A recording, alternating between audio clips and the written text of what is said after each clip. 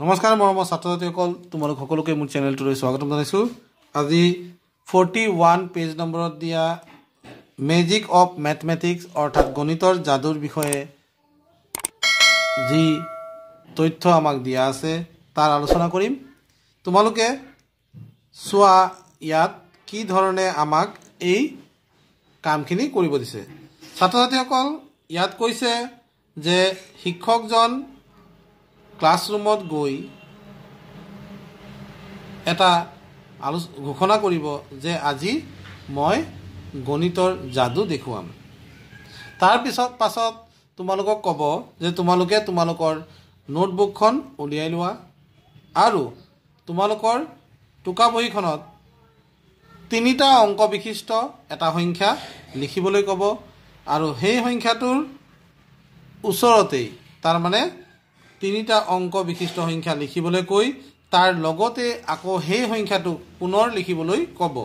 কোৱাৰ পাছত তোমালোকে সেই নতুনকৈ পোৱা সংখ্যাটোক যেনে মই এটা সংখ্যা লৈ আছোঁ মই এটা সংখ্যা লৈছোঁ টু ছিক্স এইট তিনিটা অংক বিশিষ্ট সংখ্যা ইয়াৰ ওচৰতেই আকৌ টু ছিক্স এইট লিখি দিবলৈ ক'ব মোক।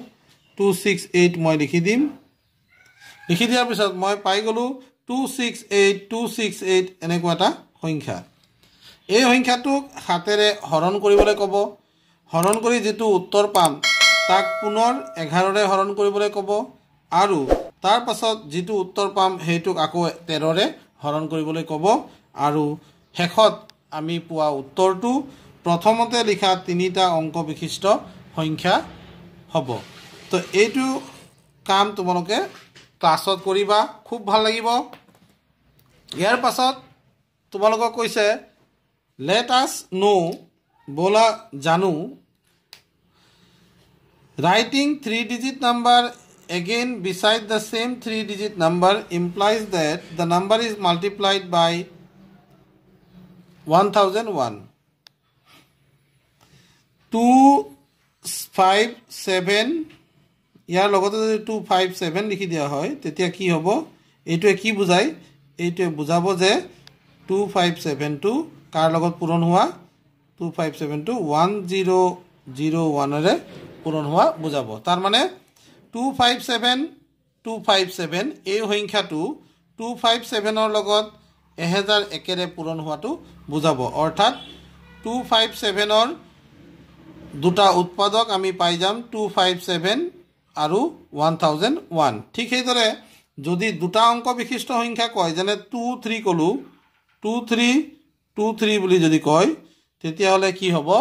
এই সংখ্যাটো অৰ্থাৎ টুৱেণ্টি থ্ৰী এই সংখ্যাটো এশ একৰ লগত পূৰণ হোৱা বুজাব। অৰ্থাৎ টু টুৱেণ্টি থ্ৰীটো এশ একৰ লগত পূৰণ হ'লে টুৱেণ্টি থ্ৰী টুৱেণ্টি থ্ৰী অৰ্থাৎ দুই হাজাৰ তিনিশ তেইছ সংখ্যাটো পোৱা যাব। ইয়াত তোমালোকক উদাহৰণস্বৰূপে দি থোৱা আছে। তাৰপাছত writing the three writing the four digit number again beside the same four digit number implies that the number is multiplied by 1 10001 এতিয়া চোৱা ফ'ৰ ডিজিট নাম্বাৰ যদি দিয়ে ফ'ৰ থ্ৰী টু ওৱান এনেকুৱা এটা সংখ্যা লিখিছোঁ।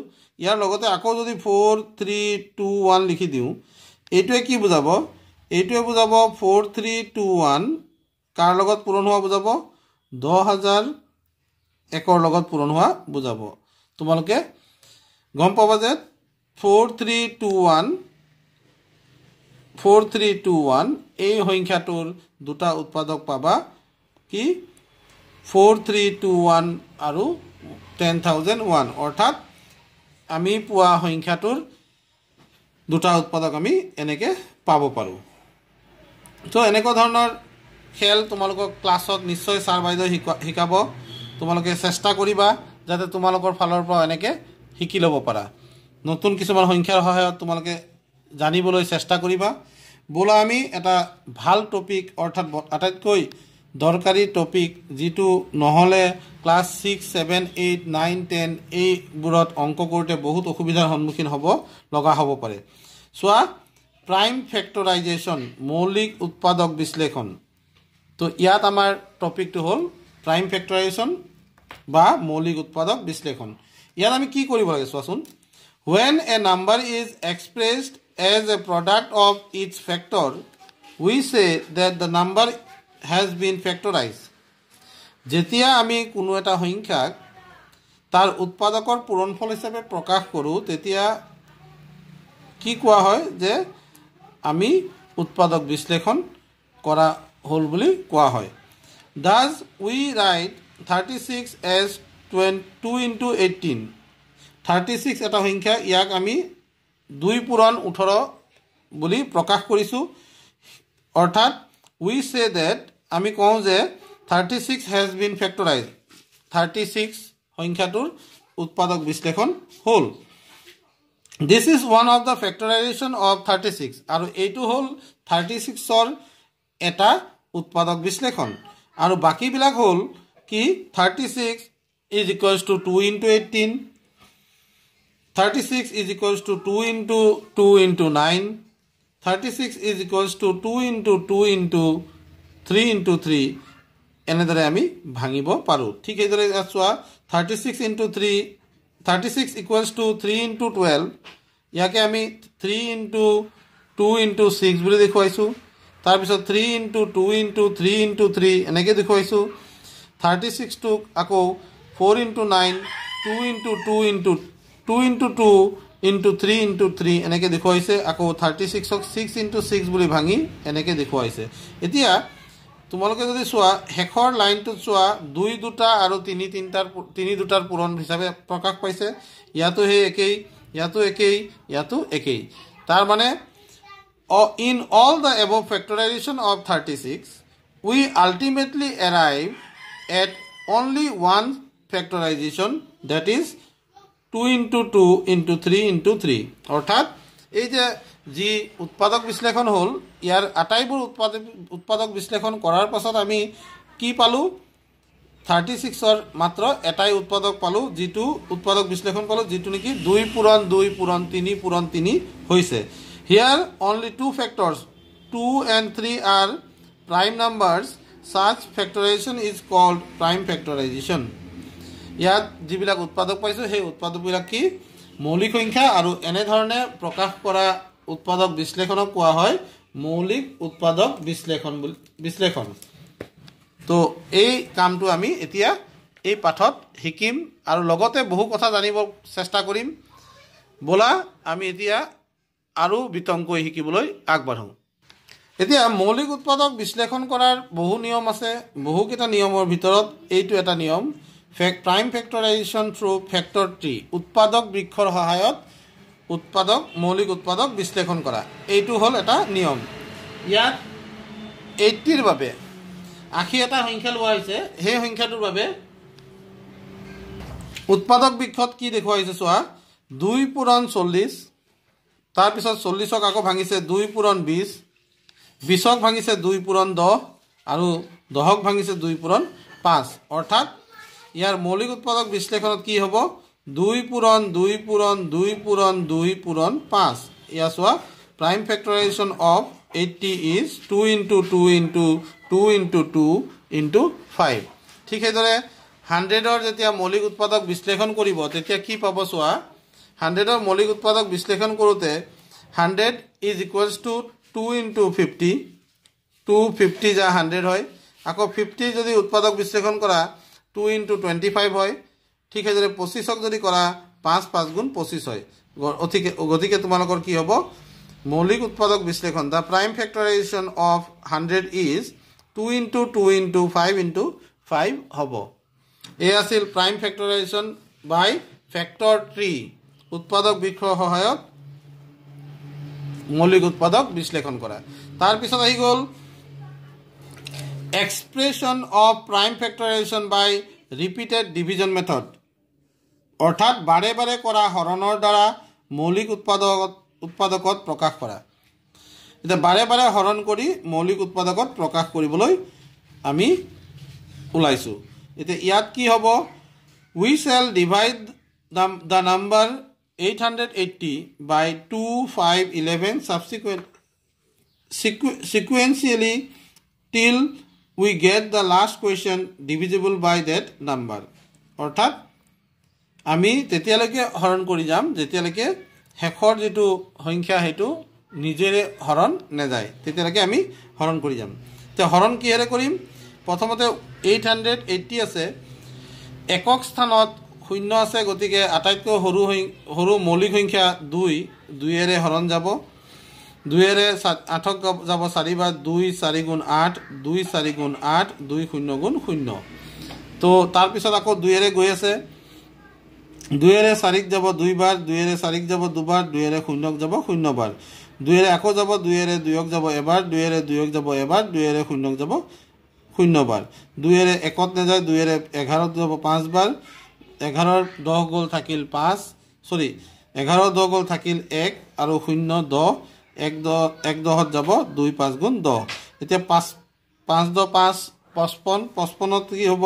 পাঁচেৰে যাব পাঁচেৰে পঁচপন্নক যাব এঘাৰ বাৰ। এঘাৰৰে এঘাৰক যাব এবাৰ। আৰু ইয়াৰ মৌলিক উৎপাদক বিশ্লেষণটো ইয়াত কৰি দেখুৱাইছে। এনেকৈ আমি শেষত লিখিব লাগিব। The prime factorisation of eight hundred eighty is two into two into two into two into five into eleven এনেকৈ আমি কৰি দেখুৱাব লাগিব। তো ছাত্ৰ ছাত্ৰীসকল এয়া আছিল এক্সপ্লেনেশ্যন এতিয়া তোমালোকক দিছে ট্ৰাই দিছ এই ট্ৰাই দিছত দিয়া find the prime factorisation of the following number ইয়াত মেথডটো কোৱা নাই।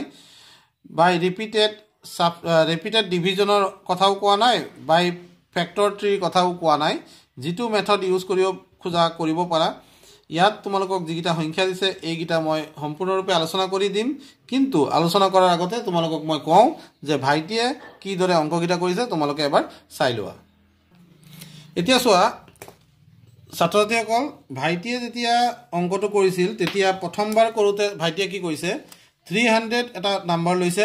এই থ্ৰী হাণ্ড্ৰেড নাম্বাৰটোক দুটা সংখ্যাৰ পূৰণফল হিচাপে প্ৰকাশ কৰিছে। সেই দুটা সংখ্যা হ'ল দুই আৰু এশ পঞ্চাছ one two and one fifty তাৰে দুইটো হ'ল এটা মৌলিক সংখ্যা। ভাইটিয়ে কি কৰিছে? মৌলিক সংখ্যাটো লিখি লৈছে। ইয়াত মৌলিক সংখ্যা বুলি লিখি দিছে। তোমালোকে লিখিব নালাগে। One two one hundred fifty two এটা যৌগিক সংখ্যা কম্পজিট নাম্বাৰ সেইকাৰণে ওৱান ফিফটিক আকৌ ভাইটিয়ে কি কৰিছে? দুই পূৰণ পঁসত্তৰ টু ইণ্টু ছেভেণ্টি ফাইভ বুলি দেখুৱাইছে। তাৰে টুটো হ'ল প্ৰাইম নাম্বাৰ ছেভেণ্টি ফাইভটো কম্পজিট নাম্বাৰ অৰ্থাৎ যৌগিক সংখ্যা। ছেভেণ্টি ফাইভক আকৌ তিনি পূৰণ পঁচিছ হিচাপে দেখাইছে। তাৰপিছত তিনিটো হৈ গ'ল প্ৰাইম নাম্বাৰ আৰু পঁচিছটো হ'ল কম্পজিট গতিকে কম্পজিট নাম্বাৰটো আকৌ ভাঙিছে পাঁচ পাঁচ গুণ পঁচিছ হিচাপে আৰু আটাইকেইটা বাওঁফালে থকা সংখ্যা অৰ্থাৎ দুই দুই তিনি পাঁচ পাঁচ এই আটাইবোৰ কি হয়? প্ৰাইম নাম্বাৰ হয় আৰু এইদৰে তেওঁ কি কৰিছে ফেক্টৰ ট্ৰি অৰ্থাৎ উৎপাদক বৃক্ষ সৃষ্টি কৰিলে। ইয়াৰ পাছত কি কৰিছে অংকবোৰ কৰিছে কিন্তু এই প্ৰাইম কম্পজিট প্ৰাইম কম্পজিট এইবোৰ লিখিবলৈ যোৱা নাই। কাৰণ প্ৰথমতে বুজিবৰ কাৰণেহে আচলতে লিখি লৈছিল। নেক্সটটো চোৱা টুৱেণ্টি ফাইভ এটা সংখ্যা লৈছে। টুৱেণ্টি ফাইভ সংখ্যাটো ফেক্টৰাইজেশ্যন কৰিবলৈ গৈছে পঁচিছ মানে হ'ল পাঁচ পাঁচ গুণ পঁচিছ। যিহেতু দুয়োটাই প্ৰাইম নাম্বাৰ অৰ্থাৎ মৌলিক সংখ্যা সেয়েহে পঁচিছক পাঁচ পূৰণ পাঁচ বুলি প্ৰকাশ কৰিছে। তাৰপাছত ফিফটি ছিক্স ফিফটি ছিক্সক লৈছে। ফিফটি ছিক্স সংখ্যাটোক যেতিয়া উৎপাদক বৃক্ষৰ সহায়ত প্ৰকাশ কৰিছে দুই আঠাইছ গুণ দিলে ফিফটি ছিক্স পাম টু টুৱেণ্টি এইট যা ফিফটি ছিক্স হৰণ কৰি চাইছে। দুইয়েৰে ফিফটি ছিক্সক হৰণ কৰোঁতে দুইয়েৰে পাঁচক গ'ল দুবাৰ দুই দুগুণ চাৰি পাঁচৰ চাৰি গ'ল থাকিল এক এক দহ ছয় ষোল্ল দুই আঠ গুণ ষোল্ল। গতিকে আঠাইছ পালে। আকৌ আঠাইছটো যিহেতু কম্পজিট নাম্বাৰ ইয়াক আকৌ দুইয়েৰে চৈধ্যবাৰ দিছে। চৈধ্যক আকৌ দুইয়েৰে সাতবাৰ দিছে। গতিকে ফেক্টৰাইজেশ্যনটো কেনেকৈ হ'ল? Fifty six equals to two into two into two into seven এইদৰে লিখিছে। নেক্সট প্ৰশ্নটো চোৱা। ছেভেণ্টি টু লৈছে। ছেভেণ্টি টু মানে two into thirty six two two prime number thirty ছিক্সটো composite so thirty ছিক্সক আকৌ দুই পূৰণ ছয়ত্ৰিছ দুই পূৰণ ওঠৰ দিছে তাতে ছয়ত্ৰিছ হ'ব আকৌ ওঠৰটোক দুই পূৰণ ন দুই ন গুণ ওঠৰ ঠিক সেইদৰে নটোক ভাঙিছে তিনি আৰু তিনি। অৰ্থাৎ এইকেইটা হ'ল তাৰ প্ৰাইম ফেক্টৰ আৰু কি লিখিছে? Seventy two equals to two into two into two into three into three তাৰপিছত লিখিছে নাইণ্টি ছিক্সক নাইণ্টি ছিক্সৰটো চোৱা নাইণ্টি ছিক্সক ভাঙিছে এনেকৈ? Ninety six one hundred ninety six not ninety six one hundred ninety ছিক্সক দুইয়েৰে দিছে দুই পূৰণ আঠানব্বৈ আঠানব্বৈক ভাঙিছে দুইয়েৰে ঊনপঞ্চাছ বাৰ ঊনপঞ্চাছক ভাঙিছে সাত সাত বাৰ। গতিকে এইটো হ'ল ওৱান হাণ্ড্ৰেড নাইণ্টি ছিক্সৰ প্ৰাইম ফেক্টৰাইজেশ্যন ইয়াৰ পাছত সাত নম্বৰ প্ৰশ্নটো তেওঁলোকৰ কিতাপত আছিল find the prime factorisation of the following number using division method এই যে ৰিপিটেড ডিভিজন মেথডটো আছিল সেই মেথডৰ ইউজ কৰি পিনি তেওঁ এই অংকটো কৰিব গৈছে। তাতে এটা প্ৰশ্ন ভুল আছিল এইট্টি থ্ৰী দিয়া হৈছিল। এইট্টি থ্ৰী যিহেতু প্ৰাইম নাম্বাৰ সেইকাৰণে এইট্টি থ্ৰীক এইট্টি থ্ৰী বাৰে এইট্টি থ্ৰী দি একবাৰেই যাব। গতিকে এইটোৰ উত্তৰ আমি এইট্টি থ্ৰীয়ে পাম। ইয়াক আৰু ভাঙিব নোৱাৰিম। নেক্সট এইট্টি ওৱান আছে। এইট্টি ওৱানটোক ভাঙিলে কেনেকৈ ভাঙে? থ্ৰী দি থ্ৰী টু জা ছিক্স এইটৰ ছিক্স গ'ল থাকিল দুই দুই দহ এক একৈছ তিনি সাত গুণ একৈছ তিনিৰে দুয়ক নেযায় তিনিৰে সাতাইছক যাব নবাৰ তিনিৰে নক যাব তিনিবাৰ তিনিৰে তিনিক যাব এবাৰ। গতিকে এইট্টি ওৱানৰ প্ৰাইম ফেক্টৰাইজেশ্যন পাই গ'লোঁ three into three into three into three ঠিক সেইদৰে ওৱান হাণ্ড্ৰেড ফ'ৰ ফৰ্টি ফ'ৰত দিছে। ওৱান হাণ্ড্ৰেড ফৰ্টি ফ'ৰৰ প্ৰাইম ফেক্টৰাইজেশ্যন কৰোঁতে দুইয়েৰে চৈধ্যক গ'ল সাতবাৰ দুই সাত গুণ চৈধ্য দুইয়েৰে চাৰিক গ'ল দুবাৰ দুই দুই গুণ চাৰি। দুইয়েৰে সাতক গ'ল তিনিবাৰ, দুই তিনি গুণ ছয়, সাতৰ ছয় গ'ল থাকিল তিনি, এক, চৰি, সাতৰ ছয় গ'ল থাকিল এক এক দহ দুই বাৰ, বাৰক গ'ল ছবাৰ। দুইয়েৰে তিনিক গ'ল এবাৰ দুই এগুণ দুই, তিনিৰ দুই গ'ল দুই গ'ল থাকিল এক এক দহ ছয় ষোল্ল, দুই আঠ গুণ ষোল্ল। দুইয়েৰে ওঠৰক যাব নবাৰ, ইয়াত দি দিছে আঠবাৰ, গতিকে ভুল হৈছে। দুই ন গুণ ওঠৰ, ইয়াত যাব লাগিছে তিনিবাৰ, তিনিৰে তিনিবাৰ, আমাৰ উত্তৰ হৈ গৈছিলে, কিন্তু ভাইটিয়ে ভুল কৰিলে। তিনিৰে তিনিক যাব এবাৰ। গতিকে ইয়াত তোমাৰ উত্তৰটো হ'ব দুই পূৰণ দুই পূৰণ দুই পূৰণ দুই চাৰিটা দুই পালোঁ। তিনি পাই যাম এক দুই এক দুই দুটা তিনি পাম। দুই দুগুণ চাৰি চাৰি দুগুণ আঠ আঠ দুই গুণ ষোল্ল ষোল্ল ন গুণ এশ চৌচল্লিছ। গতিকে বাইদেউ ভাইটিৰ এইটো ভুল হৈছিলে। তাৰপিছত মই আগবাঢ়ি যাওঁ। ইয়াৰ পিছত প্ৰশ্ন হৈছে ওৱান টু হাণ্ড্ৰেড টুৱেল্ভ ইয়াক হৰণ কৰিছে দুইয়েৰে এঘাৰত গ'ল পাঁচ বাৰ দুই পাঁচ গুণ দহ, এক থাকিল এক দহ এক দহ দুই বাৰ, দুই ছয় গুণ বাৰ। দুইয়েৰে পাঁচত যাব দুবাৰ, দুই দুগুণ চাৰি, পাঁচৰ চাৰি গ'ল থাকিল এক এক দহ ছয় ষোল্ল, দুই আঠ গুণ ষোল্ল। দুইয়েৰে দুয়ক যাব এবাৰ, দুইয়েৰে আঠক যাব চাৰিবাৰ, দুইয়েৰে চৈধ্যক যাব সাতবাৰ, সাতেৰে সাতক যাব এবাৰ। গতিকে উত্তৰটো হ'ব এইটো ছাত্ৰ ছাত্ৰীসকল আশা কৰোঁ তোমালোকে অলপ হ'লেও এইখিনি বুজি পাইছা। মই পৰৱৰ্তী ভিডিঅ'ত ইয়াৰ বাকী অংশখিনি তোমালোকলৈ লৈ আহি আছোঁ। যিসকলে এতিয়ালৈকে চেনেলটো ছাবস্ক্ৰাইব কৰা নাই তেওঁলোকে অতি সোনকালে চেনেলটো ছাবস্ক্ৰাইব কৰি ল'বা আৰু যদি ভিডিঅ'টো ভাল লাগে লাইক কৰিবলৈ নাপাহৰিবা আৰু বন্ধু বান্ধৱীৰ লগত শ্বেয়াৰ কৰিবা যাতে তেওঁলোকেও এই ভিডিঅ'টোৰ জৰিয়তে কিবা এটা শিকিব পাৰে। Thank U